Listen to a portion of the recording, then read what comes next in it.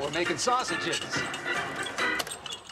I thought you were gonna watch a video. Well, yeah, an instructional video on how to make your own sausages. Kramer, I'm not in the mood for this. All right, all right. Newman, let's go grab some mail sacks and haul these beauties out of here.